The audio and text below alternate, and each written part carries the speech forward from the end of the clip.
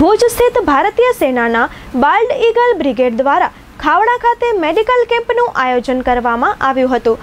કેમ્પનું ઉદ્ઘાટન bald eagle બ્રિગેડના કમાન્ડર બ્રિગેડિયર સોનેન્દર સિંઘ દ્વારા કરવામાં આવ્યું હતું. બે હજાર પંચોતેર ફિલ્ડ હોસ્પિટલ અને મિલિટરી હોસ્પિટલ ભુજના ભારતીય સેનાના વિવિધ નિષ્ણાતો સહિત તબીબી વ્યવસાયિકો, શિશુઓ, વૃદ્ધ દર્દીઓ અને મહિલાઓના બસોથી વધુ દર્દીઓની તથા એકસો પચાસથી વધુ પ્રાથમિક અને જુનિયર શાળાના બાળકોની પણ તબીબી તપાસ કરવામાં આવી હતી. આ ઇવેન્ટમાં મહત્વપૂર્ણ દવાઓ અને સારવાર આપીને આરોગ્ય સંભાળ પ્રવૃત્તિઓની શ્રેણી પણ દર્શાવવામાં આવી હતી. સડસઠ વરિષ્ઠ શાળાના બાળકો અને ચાર શિક્ષકોને બેઝિક લાઈફ સપોર્ટ બીએલએસએસ અને compression only life support COLS પર મૂળભૂત તાલીમ પણ આપવામાં આવી હતી.